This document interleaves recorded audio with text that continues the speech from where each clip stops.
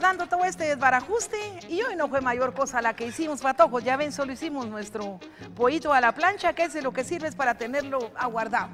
Entonces, digamos que el paso número uno viene siendo que usted agarra sus pechugas y las filetea como nos enseñó la seño Margarita, que nos hizo favor de llamar por teléfono. El paso número dos, pues será sazonarlas. Cuando ya están fileteadas, usted les pones un poquito de sal.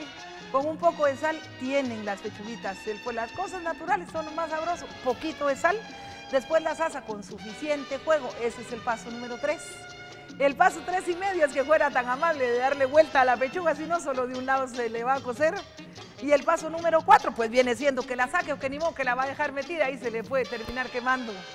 Entonces, ahí estamos con ese secreto que nos dieron para hoy y los invitamos para que si ustedes tienen un secreto que compartirnos, por vía suya búsquenos en Facebook, ahí dice Doña Rome. Entonces, por favor, ahí nos avisa, mire, yo tengo un secreto que contarle, ahí entra un mensaje y nos comunicamos con usted para que nos haga favor de, pues, de que aquí nos dé usted su secreto cuando toque. Y con ustedes se va a ir haciendo de esta cocina que todos tengamos la barriga llena y el corazón contento, mis atojos. Entonces, eh, hasta la próxima, pues, ¿qué les puedo yo decir que ustedes no sepan, ingratos?